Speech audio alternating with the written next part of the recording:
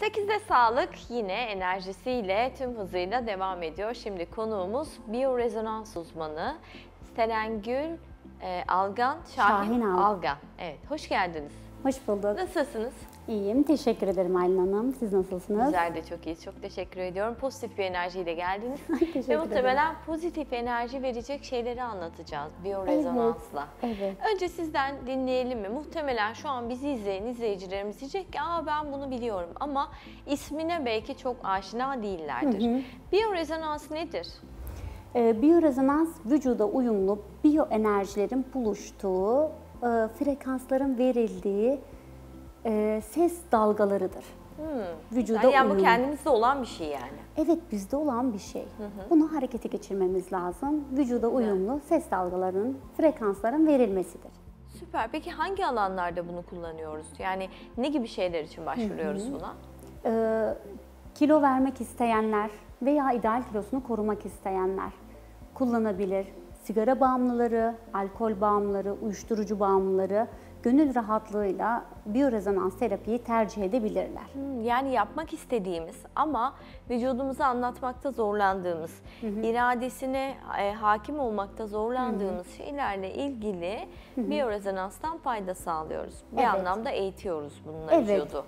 Ee, bağımlılıklardan kolay kurtulmak istiyorsanız rahatlıkla biyorezonans terapi sayesinde kolaylıkla kurtulabilirsiniz.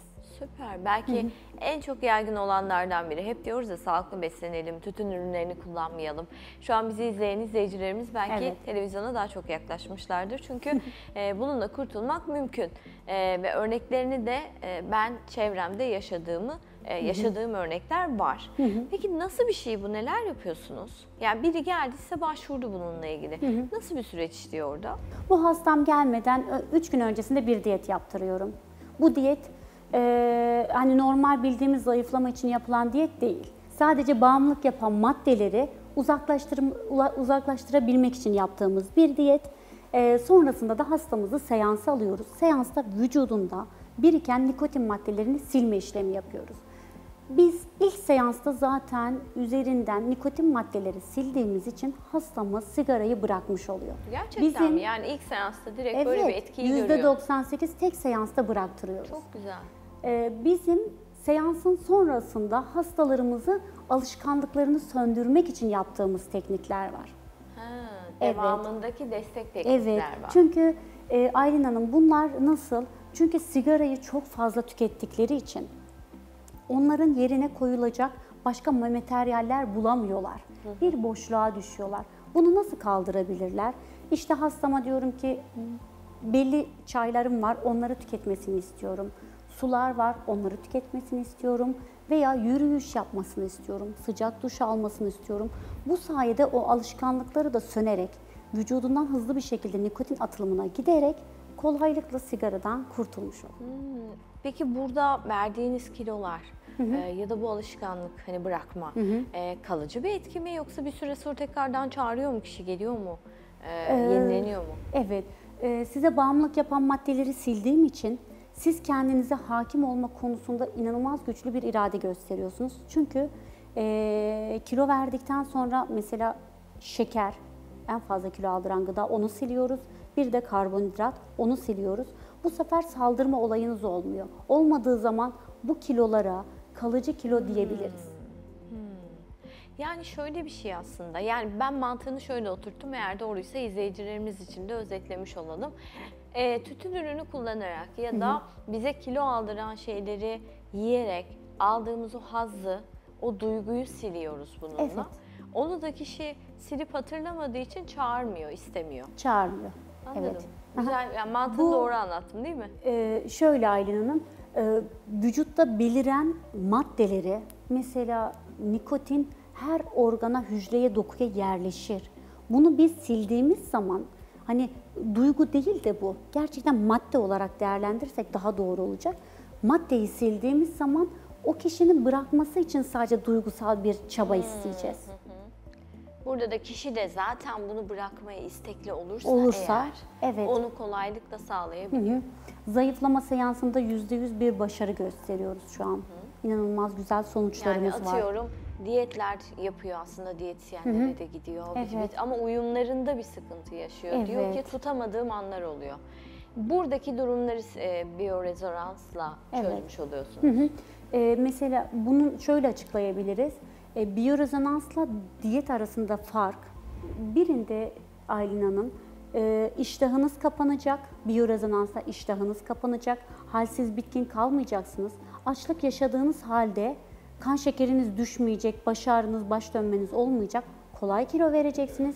Diğer tarafta daha fazla kalorili beslendiğiniz halde halsiz bitkin kalma, kan şekerinizde düşme ve e, baş ağrısı, baş dönmesi gibi belirtiler yaşayarak bırakacaksınız.